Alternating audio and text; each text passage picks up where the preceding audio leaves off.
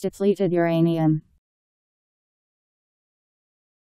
Uranium that contains a reduced depleted amount of the fissile isotope U-235 compared to natural uranium. It is used in applications where radioactivity is not needed.